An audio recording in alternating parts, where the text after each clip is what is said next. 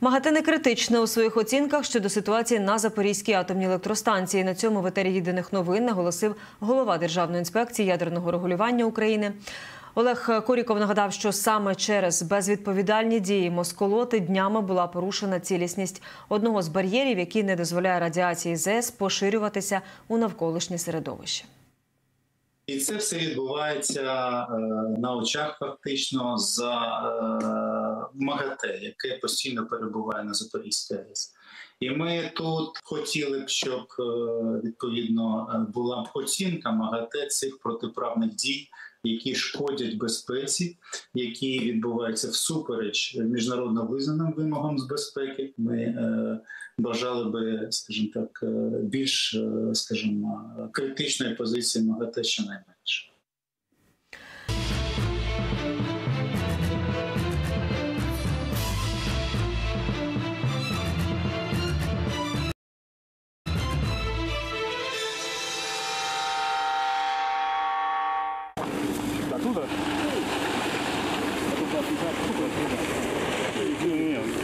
В.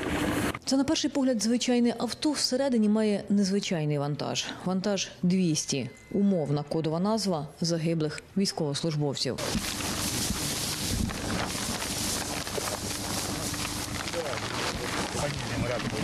Щойно пошуковці відкривають двері холодильної камери та дістають звідти чорні характерні поліетиленові мішки. На десятки метрів довкола розповзається страшний запах. Запах тіл, що розкладаються. Так смердить сама війна. Ця маска не проти ковіду, це маска проти запаху. Зараз за моєю спиною ви бачите, як пошуковці вигружають тіла. Там є і російські військовослужбовці, і українські. Знаєте, ми вже не звертаємо увагу на запах, тому що е, в тебе голова забита тим, щоб забрати тіла, а не так, як вони пахнуть. Да, ми розуміємо, що це ці гнілосні процеси, вони важкі, тяжкі, і нам тяжко так, звичайно, дихати цим, але ну, у нас немає часу на те, щоб там одягати все на себе. Оце. Ми ж розуміємо, ти будеш виглядати як ну, мішень, і ти не можеш скритись там серед цих обламаних дерев. Ці рештки, переважно російських найманців вагнерів, Олексій Юков з командою збирав та витягував з полів південніше Бахмута під Кліщіївкою. Це стало можливим, коли сили оборони пішли вперед, і ці поля та посадки перейшли під контроль армійців. Команда пошуковців їздить туди уже більше місяця і під шквальним артвогнем росіян забирає тіла наших солдатів та окупантів. Більше 40 тіл тільки з однієї посадки, там метрів 300 тієї посадки і стільки тіл лежить. І це е, розірвані, і прикопані, і просто на деревах висять фрагменти тіл і одягу. Ну, звичайно, ну це це жах. На це дивитися, так виглядає війна. За три крайніх поїздки під Бахмут, пекельних поїздки, пошуковці вивезли близько 60 тіл, які сьогодні оглядатимуть. Нас постійно обстрілювали там, е, і ланцети літали, там падали поруч. Ну, В принципі, дуже небезпечно, але ми розуміємо, що в нас дуже мало часу, тому ми з хлопцями працювали дуже, дуже швидко, е, встигали, щоб забрати повністю людину, тому що приходилось пережидати в бліндажах, поки обстріли вони е, замітили нас, що ми там працюємо. Їхня пташка побачила і почала обстріл.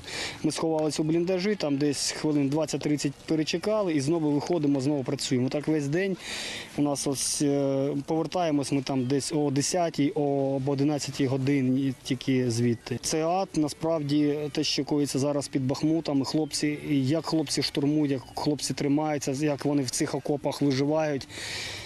Ну, це дуже, дуже важко, тому що під постійним обстрілом, звичайно, і це психічно дуже важко. Посадки двигаються то туди, то, то, то сюди, тому дуже важливо забрати хлопців, встигнути. Там ад, там пекло. Тіла у геть поганому стані. Більшості з них 3, 4, 5 місяців. Що цих найманців ліквідували ще взимку або весною, підтверджує зимова форма – російська гірка або британський мультикам, під якими український піксель.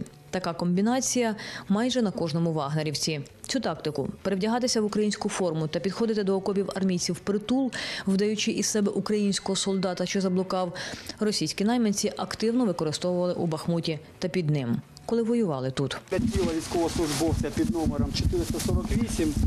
Можемо бачити, у нього в обличчі знаходяться ножиці. скоріш за все, може якийсь ближній бій був, що билися по окопах. Одягнений у український піксель під низом, зверху надягнена горка і мультикам. Це не найприємніша робота. Кожне тіло чи те, що від нього залишилося, потрібно ретельно оглянути та дослідити. Будь-що знайдене у кишенях чи на тілі може допомогти з'ясувати, хто це і звідки. сірники і серветки. Описуємо е, тіла, даємо їм номера і вже відправляємо на морг. Якщо є якісь е, особисті розпізнавальні знаки або документи, завдяки яким можна встановити особистість військовослужбовців, тому що ми розуміємо, що серед них е, можуть бути українські солдати. Тому ми ретельно перевіряємо, і якщо в нас є якісь сумніви, то звичайно ми відкладаємо це тіло і вже пишемо, що це невідома особа, або якщо є жетон, особистий розпізнавальний знак Збройних сил України, то звичайно ми вже відкладаємо як українського воїна, тому що тіла в дуже поганому стані, деякі обгорілі, розірвані, і зразу сказати, що це українські військові або російські, дуже важко, тому що одягнені частково вони всі і вагнери, і росіяни. Ми бачили під низом є одяг піксель на них теж, і мультикам, як і у наших, в принципі. Тому е, для нас дуже важливо, щоб ми розставили все правильно, і щоб хлопці, е, які захищали державу, вони повернулись додому. У кишенях загиблих не густо. Колись вологі, а нині сухі серветки, туалетний папір і через одного кусачки. Якийсь лак чи що воно. Е, Туалетний папір, хляст.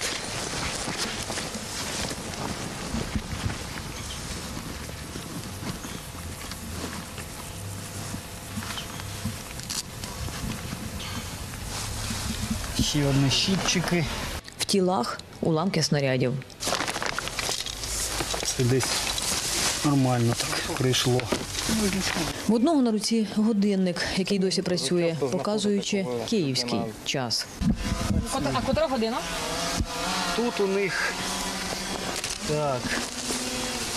Не Бачу, ш- ш- шоста двадцять. В іншого червоний браслет. Так окупанти маркували віл інфікованих. Вочевидь, цей ліквідований, колишній ув'язнений, якого приватно-військова компанія витягнула з в'язниці для війни та смерті. Така така трагедія, коли ти розумієш, що люди прийшли сюди захоплювати території і загинули.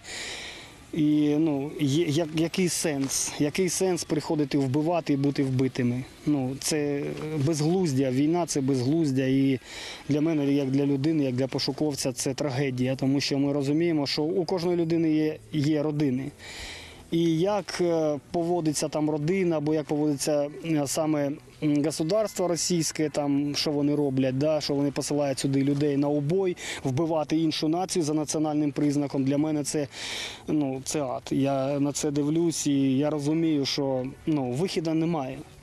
Е, Все, вони прийшли сюди вбивати, і, звичайно, у них не так багато шансів, тому що ми захищаємо свою землю, і хлопці стоять до останнього. І все ж ліквідованих російських окупантів впізнати легше, ніж загиблих українських солдатів. Не за особистими речами чи документами. Їх у більшості немає. Майже в кожного з вагнерів на шиї ідентифікаційний жетон, за номером якого можна дізнатися, хто перед вами. Бармійців таких розпізнавальних знаків практично немає. Бистро розпізнавальний знак серія К 454-042.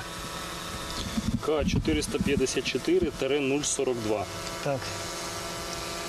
І хрест дерев'яний з накладкою. Серія К 128 169. К-128-169. Так. А у наших переважно немає. Ну, на жаль, на жаль, багато у кого, кого ми знаходили, жетонів просто немає. Ні документів, ні жетонів. Коли тіла оглянуть та опишуть, їх відправлять у морг. А далі відповідні структури вирішуватимуть питання обміну тілами.